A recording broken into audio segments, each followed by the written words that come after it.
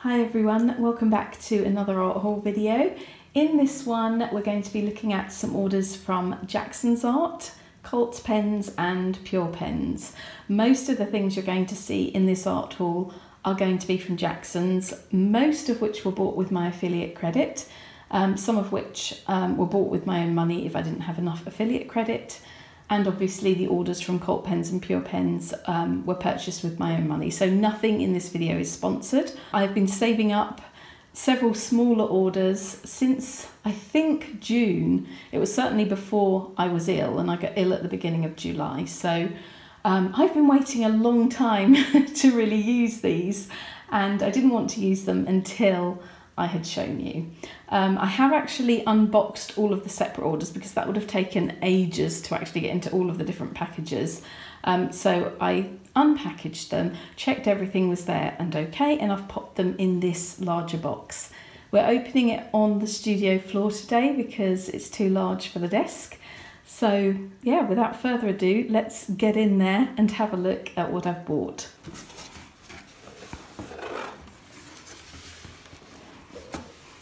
Okay, so as you can see, there are a lot of different products in here, um, some of which I haven't actually used before, so they're new to me, so it'll be quite exciting to try them for the first time.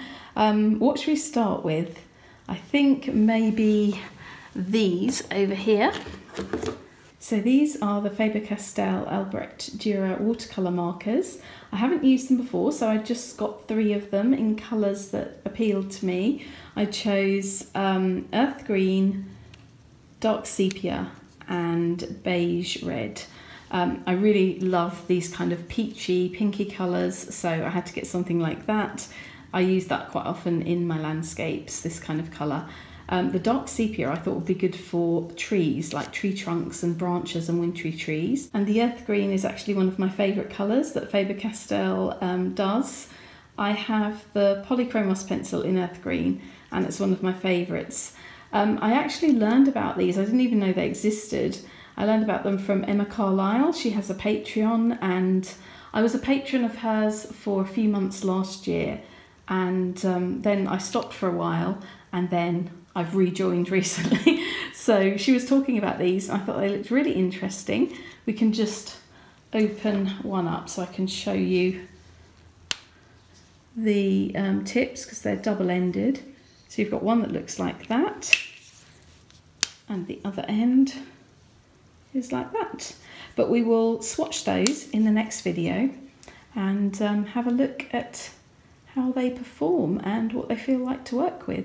Okay, let's have a look at some of the watercolour paints I decided to get this time.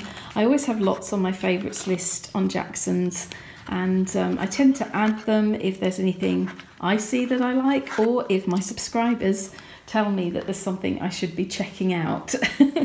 and I think in this case, somebody told me, I can't remember who you were, but thank you, you told me to check out the um, Sennelier, is that what these are? Yeah, Sennelier um, Forest Green, which looked like my kind of colour, so I got that.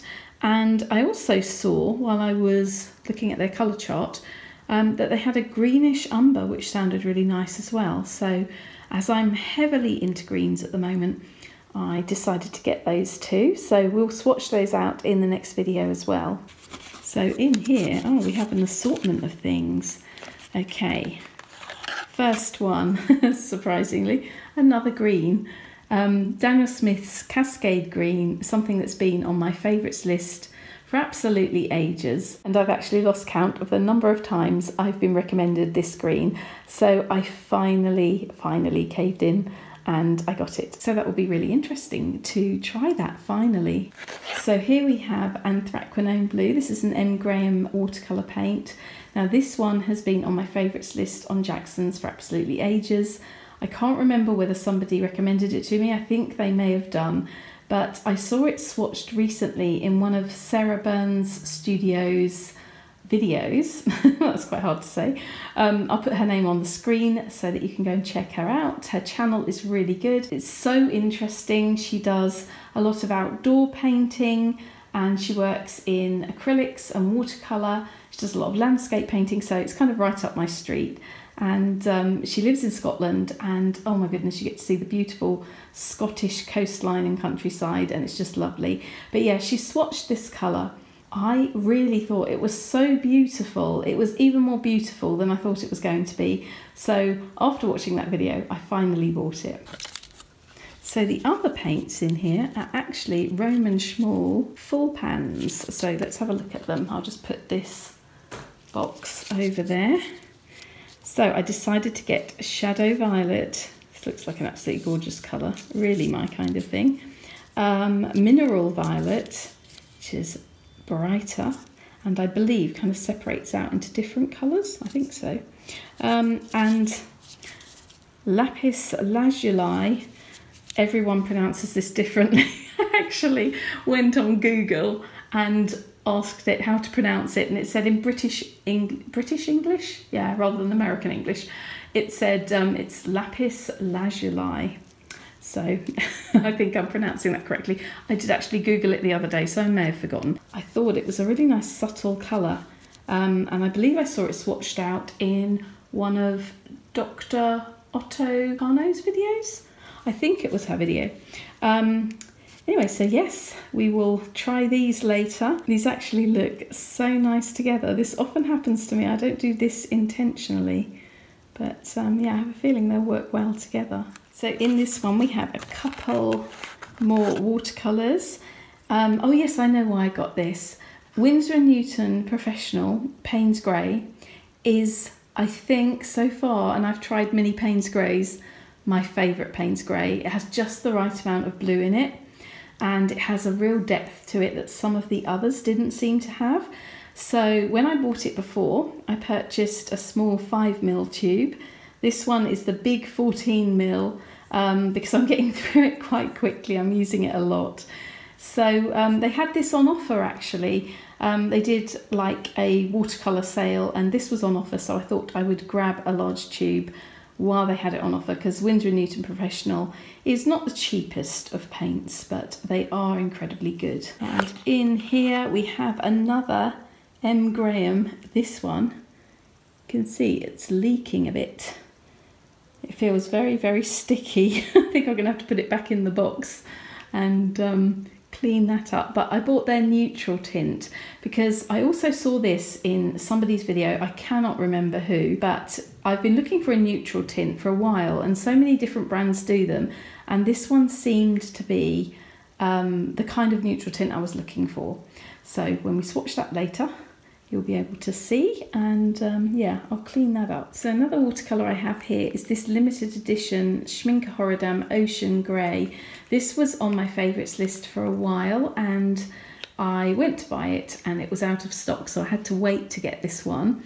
I'm not going to try to pronounce the artist's name but this artist developed this with Schmincke and it is a beautiful as you can see slightly Looks like a slightly turquoise, um, greyish blue.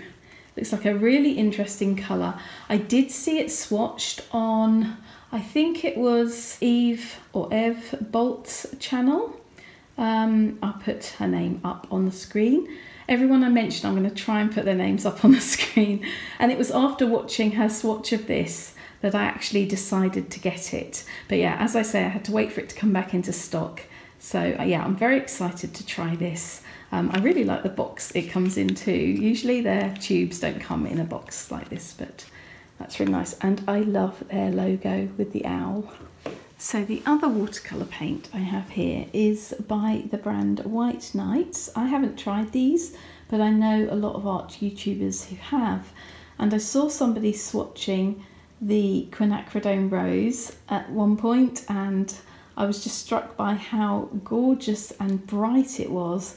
So it'll be very interesting to actually swatch this myself and see whether it lives up to the brightness I'm looking for. I love quinacridone rose, it's one of my favourite pinks and I do actually um, own this colour in other brands. But yeah, I'm excited to try the White Nights. This is my first one, as I say, and they weren't too expensive. I think this was either three or four pounds a tube, which seemed quite good. So another paint we have in here is um, this liquid charcoal by Schmincke. Um, this is the grapeseed black version, which I believe has a slightly bluish tinge to it. Um, they do three different versions, all slightly different. Um, this was quite expensive. This was nearly £18 a tube. So this is why it's been on my favourites for a while and I haven't actually bought it because I wanted to make sure that I really did want it and that I'm going to use it. But I think it will be great for using as a base layer to work on top of. So working on top of it with Neocolor crayons or coloured pencils. So I'm excited to try that and uh, see the different tones we can get as well because I guess if it's watered down it's much lighter and uh, yeah see whether it kind of smudges and how it looks when it's on the paper. So here we have just one tube of the Jackson's own brand artist acrylic colour. I have some of their other paints and really love them so I thought naturally that I should get a Payne's Grey. I have Payne's Greys um, in so many different brands but they're all slightly different and uh, yeah I figure you can never have too many of them so I decided to get this um, these tubes, they're fairly large, as you can see, and I think they cost around £5, which seems very reasonable for an acrylic paint um, that is artist quality, not just student quality. So um, I won't be swatching that in this video. I'm going to be making a separate video about my acrylic paints very shortly, I hope. I keep promising this. I want to make one on my collection of golden acrylic paints and also my whole art cart of acrylic paints. I thought it'd be quite interesting um, to show you the brands I use now and the colours I use because it's changed quite a lot over the past year or so. And uh, yeah, I've been investing in new, very high quality acrylic paints. And as I said, I really like the Jackson's brand, so I decided to get that one. So hopefully in a future video, you'll get to see that swatched. I must apologise for my voice, by the way. Ever since I had tonsillitis, I have had a slightly husky voice. Um, I don't know whether I'm slightly allergic at the moment too. I kind of feel like I might be. Um, and it's making my voice sound a bit croaky and a bit deep but hopefully that's not too annoying. Anyway, let's get on with um, the remaining supplies and I think next I'm going to show you, um, I can reach in here, these pencils, these really chunky Stabilo Woody three-in-one pencils. So they're kind of like a pencil, a wax crayon and watercolour in one. I do have a pink version. I've only previously bought one of these, but I love it for layering over the top of paint and pen and coloured pencil. It layers really well over everything. And uh, yeah, I'm using it quite a lot in my sketchbook, so I thought I would get a black and a white. You need, obviously, because they've got such a big uh, tip, you need a special sharpener to sharpen them. So what I decided to do now, I have three of them because I haven't actually needed to sharpen the pink one yet. Um, they just seem to go on and on. Obviously you can't get much in the way of detail with them, but they're great for mark making and uh, yeah, as I said, fantastic for layering. So anyway, as I have three, I decided that I would get the sharpener that goes with them. So here it is, this is what it looks like. Um, it wasn't too expensive, I think it was a couple of pounds and it's going to be worth it if I can sharpen them because I didn't know how I was going to sharpen them. I guess you could do it with a knife, but I don't trust myself with a knife. So um, yeah, so I got that. So let's see what we've got in this box. Uh, I see a couple of Luminance shake those out. There's four pencils in there, yeah. Just put that over there. Right, so we have um, two luminance pencils that I haven't actually tried before. So we've got yellow ochre and moss green. I thought they both looked like lovely landscape colours. So I decided to get those. And here we have something I didn't know existed until the other week when my friend Melanie Chadwick did an unboxing um, art haul on her channel and she had a couple of these Pitt oil base pencils. Um, I decided to get soft and medium because I think they were out of stock of the hard. I would have got a hard as well. I think I would have got all three. I think they also do an extra hard, but I went for the soft and the medium and apparently they work really well over watercolour. Mel was layering them in her sketchbook and I really liked the way they looked so defined and dark on the top of her watercolour painting that I decided to give them a go too because I'm, as we know, all about the layering. so these are another interesting pencil to have. If something about this section of the video looks a little bit different to the footage you've seen up to this point, it's because I had to stop recording yesterday because I had other things I needed to do and it was also getting quite late in the day and the light is never as good. So I've left it until today, so it's like 24 hours later now and I'm just going to finish off this art haul. I thought I'd better mention it in case it just looked a little bit different somehow or I sound a little bit different because I've noticed that when you're recording videos, you sound um, different each time you do it, which is strange. Some days I sound softer and some days I sound deeper. And anyway, let's get on with the rest of the art haul. Okay, so let's look at this next. This is a concertina sketchbook by Seawhite of Brighton. I have some of their other sketchbooks and I quite like them. They're quite a good affordable sketchbook brand. So one of my subscribers, Matt, told me about these. Oh, it's like in a little, has its own little case. That looks really good. Um, and because I've been thinking about making zines and possibly making like a concertina style zine so that people could stand it up and have it as like an art piece as well as just reading it and looking at it. um, I thought it might be quite fun to try to do something, see what I could do with a concertina sketchbook. So this was quite inexpensive. They feel really nice and sturdy, the pages.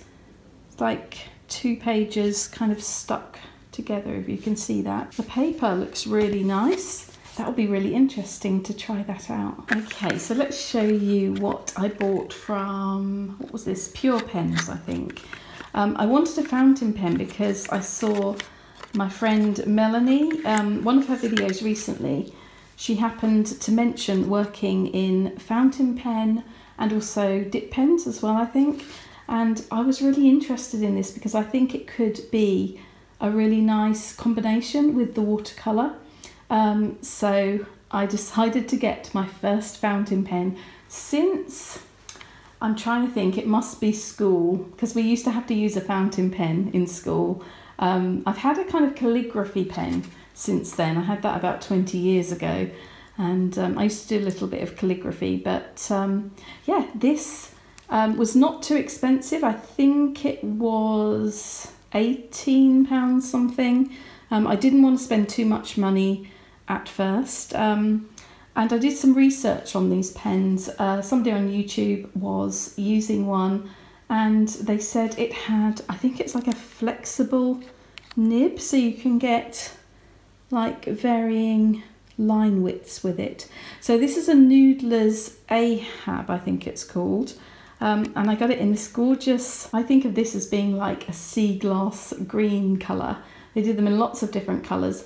But yeah, it's going to be very interesting to try this out and I will definitely record a video on this when I'm trying the pens out for the first time and um, I'll show you what they can do. It won't be in the swatching video that follows this one. I'm going to actually make a separate video because um, this is something so new for me and I think it deserves a video of its own. So yeah, this is the pen I got from Pure Pens and I also bought some ink to go with it, which I'll show you now. So this ink came recommended by another illustrator um, I can't remember his name. I did thank him on his video. He's not somebody who I had ever watched before. I was just searching for all things fountain pen and he recommended this ink as being very good. I wanted a waterproof ink because if I'm drawing and then kind of filling in a bit with watercolour. I didn't want the watercolour to disturb the ink. So apparently this ink is waterproof and it's especially for fountain pens because you have to bear that in mind. Not all inks can go in fountain pens. I'm really glad I learned this before actually putting any ink in that pen.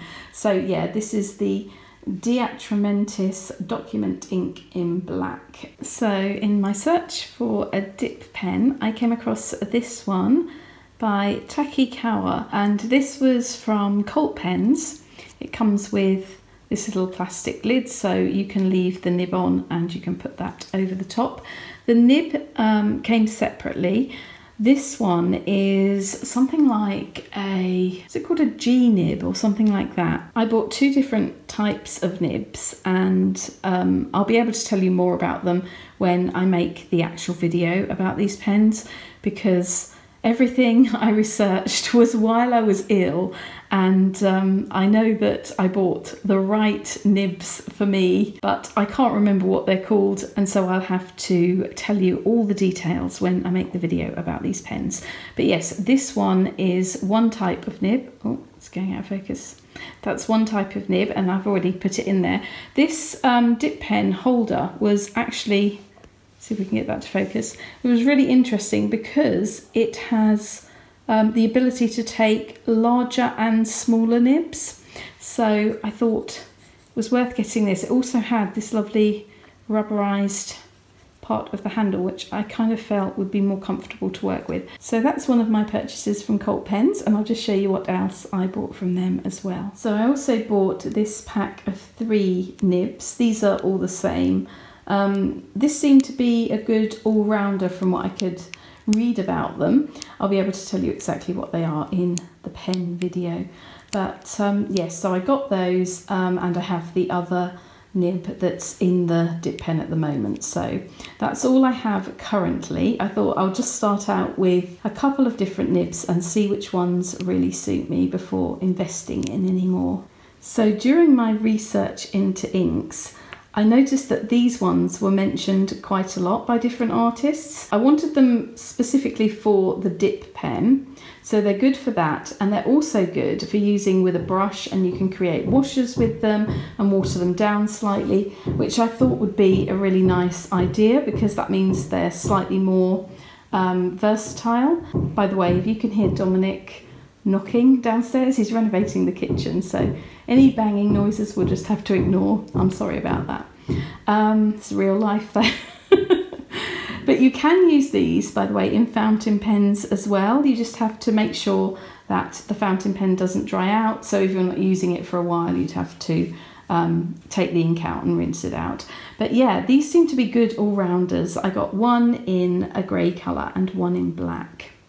So we'll be giving those a go in a future video. Okay, so let's have a look at these panels from Jackson's. I've unwrapped one of them so that we can have a look at it without lots of reflection so you can really see the surface.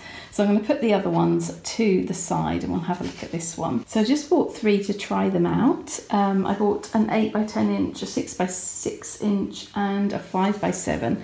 This is the 5 by 7 they seem really sturdy. Apparently they're warp resistant and they have this grey ground that you can use um, for all media. So that'll be interesting. I'm planning on using them for acrylics. I thought it would be nice to work on something like this for a change rather than canvases. So yeah, I'm going to give those a go. They weren't very expensive. They seemed quite reasonably priced. Very interesting. They feel kind of a nice quality so I have high hopes for these. So you know how I love Royal Talens Art Creations sketchbooks.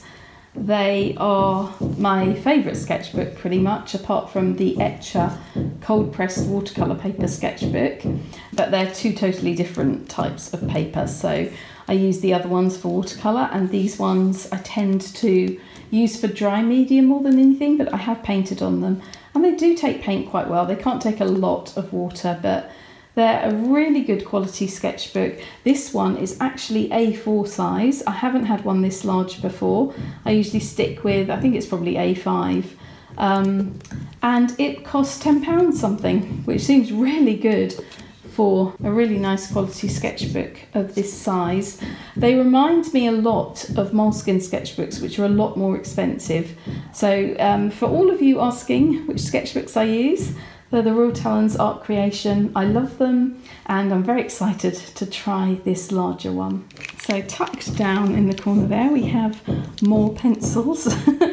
I bought um, a Stabilo All, I think I mentioned this pencil in my sketchbook video the other day because it's so great for going over the top of other pencils. So yeah, I got another white one of those. Um, it says they can write on paper, glass, plastic, and metal. So I haven't tried all of those different surfaces, but I can tell you that they go really nicely over the top of other pencils. So um, if you want to knock back the colour a bit or add a bit of texture or mark, these are really good. Um, I have some Luminance here. These are just sort of restocks, these ones. I've got a couple of Payne's Greys because I get through those like there's no tomorrow. Um, I have a Payne's Grey 30% because, yep, that's another really popular one with me. Um, a Dark Flesh 40%. I've recently started using this colour and I'm really loving it. It's very subtle, kind of soft colour. Um, so yeah, we'll be swatching all of these so you can have a look at them.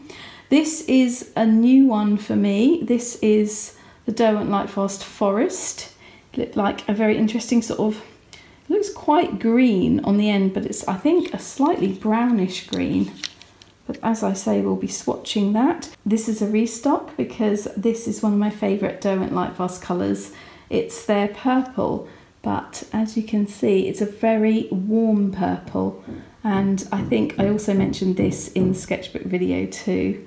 Um, I think I did. Really good for trees, love it for that. So it's not like a really bright, cold bluish purple, it's very warm. And here we have a sepia 50%. I love the Luminance sepia pencils, so we'll be swatching all of those in the next video. So we're down to the last two items now, and these pencils are new to me. They're something I learned about through Emma Carlisle. I think somebody had kind of recommended them to her, and they sell them in this set of six, the ArtGraf Soft Carbon. And um, she did like a demonstration of them on her Patreon, and I was intrigued by them because they just create the blackest black. And you can kind of, I think, smudge them a little bit. You can use them with water. Um, they go over the top of other pencils. Um, so yeah, I'm really intrigued to use these. I was very impressed when she was using them, and I think they have become a new favourite for her. So, yeah, I'm quite excited to try these. The banging is still going on. He's chipping away at a floor down there and trying to get rid of the old, I don't know what he called it, it's not adhesive, kind of something that levelled out, like a levelling compound or something, and he's trying to get back to the original floor. So it's a lot of work. Poor Dominic, it's very hot today as well. So this is the last item and this is quite an exciting one and it's going to get its own video because it's a palette from Schmincke. This is their Horadam watercolour, so this is their artist grade and this is a special edition in a really lovely little leather case. Um, I don't want to open it today because I'm going to save that for the video. We will unpackage it and we will swatch all the colours and I'll create some artwork with it. I think that would make a really nice video. Um, I was intrigued by this though. I happened to see it on the Jackson's website. I didn't know that um, Schmincke brought out a special edition, apparently in a leather case each year around Christmas time. So it's usually around the end of the year, I think. Um, obviously, I bought this in the summer. Um, Jackson said they had low stock, so I'm assuming they just had a few left. I also got it on a special deal, which was really good. This kind of swayed me to buy it really because I love Schmincke's paints and it was an intriguing collection because they have 12 half pans and they've decided to include a cool, a warm and a muted version of yellow, red, blue and green. So you don't have any earth colours in there, you don't have any browns. I have seen them swatched out and yeah, I was intrigued to try it. So I think this deserves a video of its own. and um, I'll create some artwork with it too to kind of show you how I'm going to be using it. Okay, so that's the end of this section of the art haul. As I say, the swatching video I will try to get up within a couple of days of this video being uploaded to my channel Thank you all for watching. I think I've finished just in time because the sunlight is now streaming in and it would have just completely washed everything out. Um, thank you for putting up with the noise of the banging going on downstairs. Hopefully it's not too distracting. But um, yeah, thank you all for watching and I'll be back soon with the swatching part of this art haul.